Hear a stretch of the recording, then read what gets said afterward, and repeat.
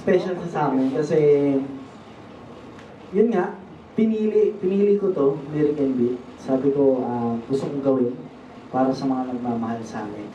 Saka, syempre, yung band na nabuo namin doon, and ano pa ba, yung exciting din, yung concept ng ano, ganun siya ka-special sa akin. Kasi, yun nga, basta sa akin, kahit Special talaga. special talaga siya. Ah, Parang show, pawan. Hindi Tapos- asado. Sa akin po, syempre special siya kasi ito yung parang first ever na musical ng I Want. At grabe yung tiwala nila na sa amin dalawa binigay. So, sobrang special kasi di po talaga namin inakala in a million years na magkakaroon kami ng musical. Lalo na po ako.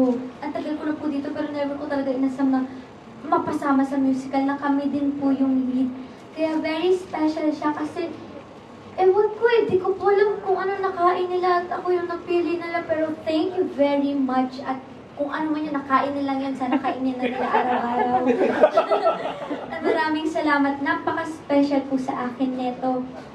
Kasi, ang first pangarap ko po talaga is maging singer.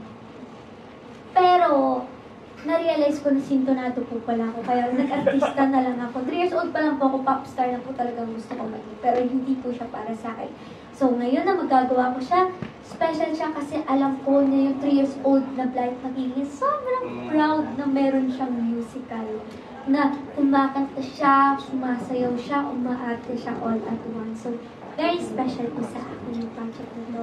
Um, yung mamimiss ko naman, all, in almost 3 years, siguro yung ano, an, ano siguro mamimiss ko yung ano, yung mga moments na hindi namin maintindihan ang mga sarili. Ang isa't isa. Yun lang, yun lang ang mamimiss ko. Sa set ito, ganyan sa together kayo na hindi nyo maintindihan ang mga sarili nyo. Basta. Wow. Blind item talaga. Crazy in love ang tawag. Totoo, kasi di ma-explain eh. Ba? Ay, parang naman na in love na. Hindi pa ba? Yung mamimiss ko naman po, ah, Set. Kinakalas yung mic. mamimiss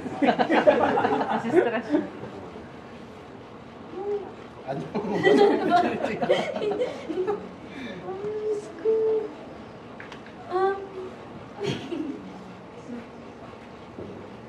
Ano mamimiss mo?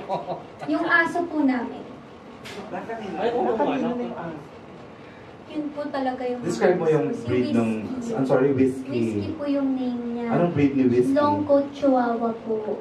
Okay. Na supposedly gift po sa akin for our month sari, our sixth, pero po inangkin niya. Opo. So, dito, Pinatira ko yun sa bahay mo, Oo nga, buwan. tapos kinuha, hindi, isa lang, tapos kinuha niya din po. Binawi. Opo, as in sabi niya sa amin na lang. Tsaka gustong-gusto kasi siya ni Tita Marga.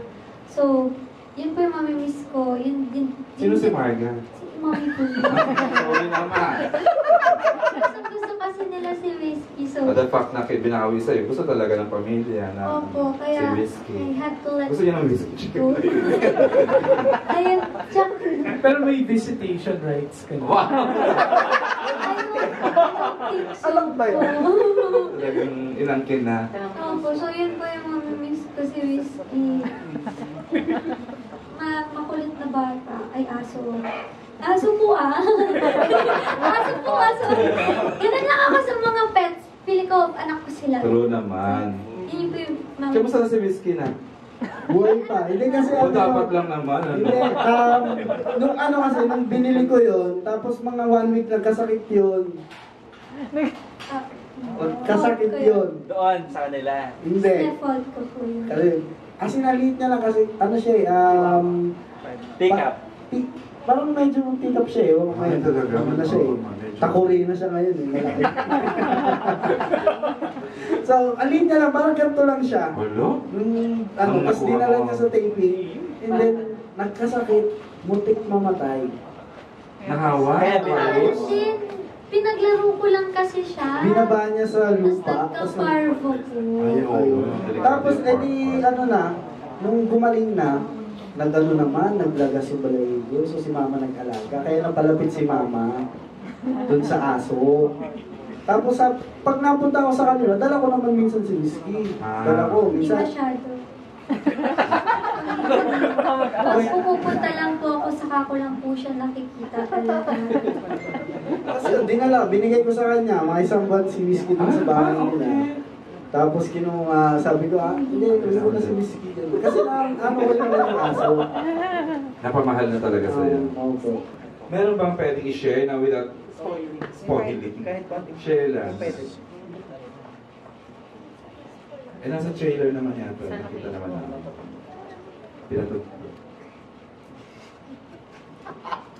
Sa, sa akin po, yung audition, napakita po yun sa trailer, yung grid na madami kami. Pero, ako, doon po ako, na lang. doon po ako pinaka-excited na mapanood na lahat. Kasi parang talaga siya yung sa Pitch Perfect, eh, isa yun sa favorite ko pong movies. Ako din po, excited akong panoodin din siya. Kasi hindi ko pa po siya napapanood. I think yun po yung pinakamasaya. Kasi lahat kami dun kumakanta eh. exciting. Marami. Um, ako yun lang din. Kasi yung iba, hindi naman napakita dito eh. Lalo na yung, napakita na clip pero maiksi lang at dapat nyo talagang abangan. So wala, yung nakikita sa trailer, walang wala yun sa mapapanood namin. Wala. Oo. ah, may mga, basta. Oo, ang hirap naman magkwento ng isang medyo broad, ano. Kaya mapan, kasi galaw yun eh, medyo. Pero skip nyo na lang po yung second audition ko. yung first po, yun po yung excited ako. Yung second po, wag na po. Ayan, na-excite tuloy kami. Second. Ah. Spoiler pala yun. Ah, oh my God. It's okay na. Wala ako. Wala pa Wala ako idea. Spoiler, abangan. Salamat po. Wala po.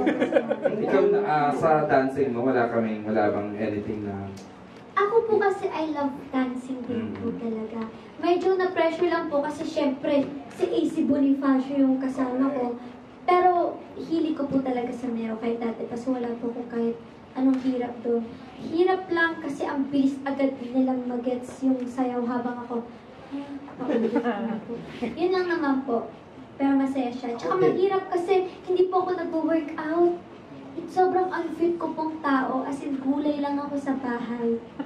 Bababa lang ako para mag-CR break or kumuha ng pagkain. So, nung ginawa ko yan, nakalakin kami na halos everyday meron kami prod na sumasayaw. Hingal na hingal po ako, doon lang po ako nahirap. Seth. Ako rin po. Ah. Love ko yung dancing. Seryoso yun. Opo, nung nalaman ko nga po na sila Darren, si Kyle, si Jeremy, sabi ko, Uy, buti naman may kasama ako magaling sumayaw. Para naman safe ako. Okay. Hindi talagang ano, yun, basta Darren, thank you, Jeremy, thank you. Oh. Tinulungan talaga nila ako. Si Aura mahusay, Aura mahusay ko sa Oo, ayun din. Oo. Ay, oo, lalo na yun, yun ang katulong. Masayawin, huwag kumanta. Chika! At least nakakatawa din talaga siya kumanta. As in, nakakatuwa siya panood. Sige, we will find out.